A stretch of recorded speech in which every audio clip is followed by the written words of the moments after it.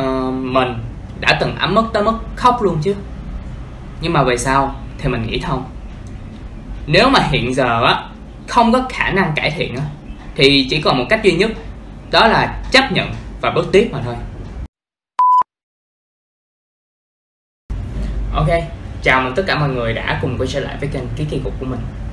Uhm, video này thì sẽ có phần đặc biệt ha. Um, mọi người có biết không? Trong số tất cả những cái video mà mình đã từng làm á thì mình hy vọng nhất cái video này sẽ là cái video đầu tiên mà mọi người click vào xem cũng như là cái video giúp mình đến với mọi người. Không phải là những cái video kia không đủ hay không đủ tốt. Um, video nào mình cũng dốc hết sức mình hết á. Nhưng mà điểm đặc biệt là ở cái video này mọi người sẽ không bị phân tâm bởi ngoại hình mà chỉ tập trung vào cái thông điệp mà mình muốn gửi tới mà thôi phải làm như thế nào khi bị body shaming uhm, trước khi đi tiếp với video thì sẽ là không liên quan nhưng mà cũng rất là liên quan luôn. Đó là nếu mà các bạn cảm thấy thích video của mình thì đừng quên hãy like share đăng ký kênh của mình. Cái này thì mình không có ép vì mình ép cũng ép không có được. Mình chỉ nhắc sợ trường hợp mọi người quên thôi đó. Body shaming là những cái lời nói mang ý nghĩa là miệt thị ngoại hình của người khác nếu các bạn đã từng xem qua những cái clip của mình thì các bạn sẽ cũng sẽ hiểu là mình sẽ luôn nhấn mạnh cái thông điệp là không ai hoàn hảo cả. Ai cũng sẽ có những cái khuyết điểm từ ngoại hình cho tới nội hàm. Um, ai cũng muốn hướng tới cái sự hoàn hảo và cũng muốn giấu đi cái khuyết điểm đó của bản thân. Và mình cũng vậy mình cũng có những cái khuyết điểm về mặt ngoại hình.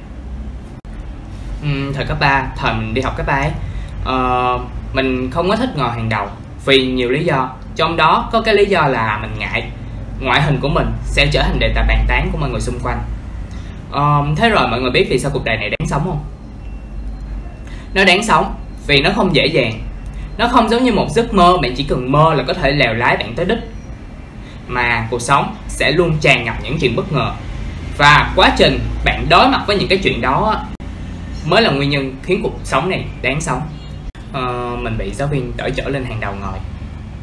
Những ngày sau đó ở dưới góc lớp thì mình đã nghe được những cái lời xì xầm về ngoại hình của mình. Mình thì là kiểu người mà không để bản thân bận tâm tới những cái lời nói xấu sau lưng đâu. Thậm chí là mình còn dám nhìn thẳng vào cái đứa đang nói xấu sau lưng mình nữa kìa. Nhưng về những cái lời nhận xét tiêu cực về mặt ngoại hình đó thì thú thật tại thời điểm đó mình không đủ mạnh mẽ không đủ tự tin để coi như không có chuyện xảy ra. Uhm, lúc đó thì mình nghe bên tai mình chứ. Toàn thân mà mất tự nhiên cứng đơ cả người. Mình bất giác nghĩ rằng nếu mà bản thân không có nhúc nhích á thì họ sẽ không chú ý tới mình nữa và sẽ không bàn tán nữa. Mình luôn tự nhủ là không được bận tâm. Cố tập trung vào học đi.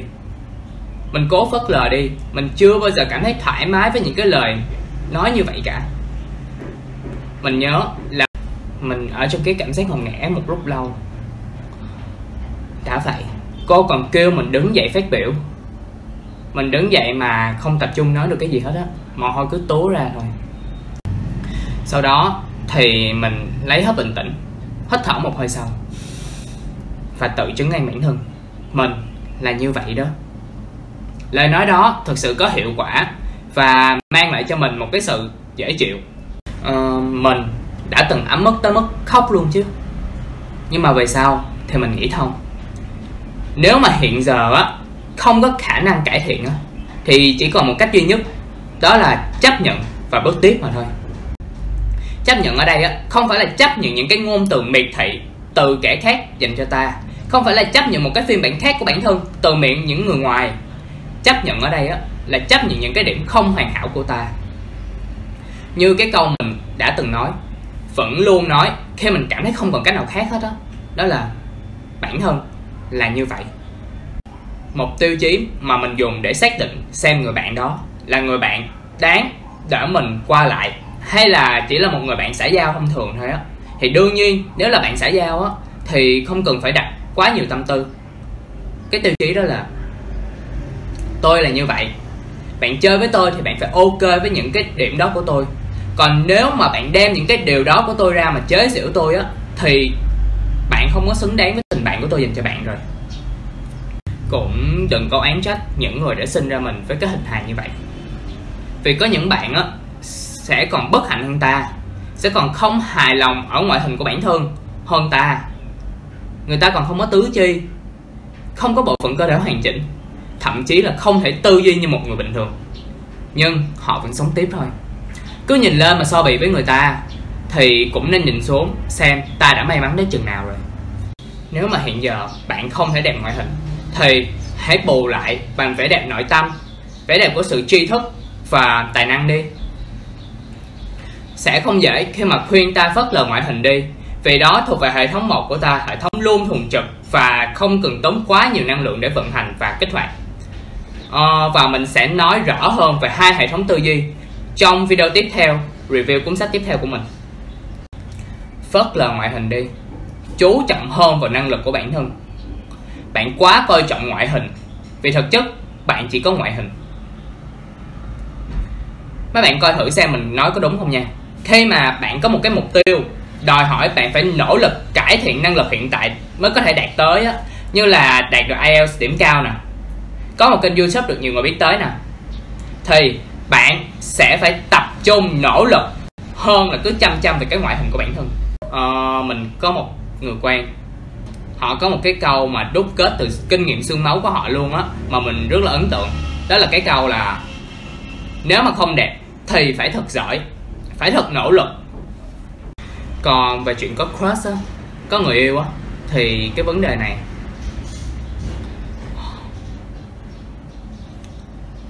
mình nghĩ như vậy nè vì mình là một người sống tình cảm, không có nghĩa là mình sẽ không đặt lý trí vào những cái quyết định của bản thân. Đối với mình á, mình sẽ quả quyết trong chuyện tình cảm như vậy nè. Nếu mà bạn không thể chấp nhận được những lúc tôi xấu xí nhất á, thì bạn không có tư cách ở bên cạnh tôi những lúc tôi rực rỡ nhất. Vẻ đẹp sẽ là quan trọng, nhưng nó không phải là trên hết. Cá nhân mình đi, gu người yêu của mình á, thì mình sẽ xem xét tính cách nhiều hơn về ngoại hình mình cần nhiều hơn ở tính cách, nội hàm. Mình đã từng gặp qua nhiều kiểu người có ngoại hình sáng sủa chứ. Nhưng mình không dễ dàng thích một người. Không phải ai đẹp thì mình cũng thích, mà phải hợp gu tính cách với họ nè. Cảm thấy họ có một sự chân thành nè, tin tưởng được thì mình mới thích. Mình không cho phép bản thân xem trọng những người mà luôn đặt nhan sắc lên hàng đầu. Nên nhớ rằng á, bạn chỉ may mắn hơn một vài người. Vì bạn có một xíu gọi là dễ nhìn. Nhưng về tài năng thì không chắc đâu. Công bằng. Bớt đặt mình ở vị trí cao hơn người khác mà tự tới mà học hỏi họ đi. Bạn quá coi trọng ngoại hình của bản thân vì thực chất bạn chỉ có mỗi ngoại hình mà thôi. Uhm, có những anh chị youtuber uh, thường đeo mặt nạ lên clip thì mình vẫn nghe được đâu đó những cái lời tung hô kỳ vọng về nhan sắc ở phía sau lớp mặt nạ của các anh chị ấy. Um, đó cũng thể hiện sự yêu quý của mọi người chứ. Nhưng cái mình biết chắc rằng những cái anh chị đó vẫn mong muốn là những cái video của bản thân được mọi người quan tâm về nội dung nhiều hơn là hình thức. Và đó cũng là mong muốn của cá nhân mình mong muốn của bản thân mình. Và cũng là nguyên nhân hôm nay mình đeo mặt nạ lên clip. Ok video của mình tới đây là đủ dài rồi uh, mong rằng những cái video này thì sẽ được các bạn yêu thích. Và nếu mà thích những cái video này của mình á thì hãy share những cái video này để mình có cơ hội tiếp cận được và thấu hiểu được nhiều bạn hơn nha. IG của mình là Kantiki bạn có thể để lại tin nhắn hoặc là comment trực tiếp phía bên dưới về cảm nhận của bạn sau khi xem hết clip cũng như là chủ đề mà bạn muốn mình thực hiện. Mình sẽ note lại và mình rất là trân trọng luôn. Và cuối cùng lịch ra video của mình là vào mỗi thứ ba hàng tuần. Cảm ơn mọi người và hẹn gặp lại.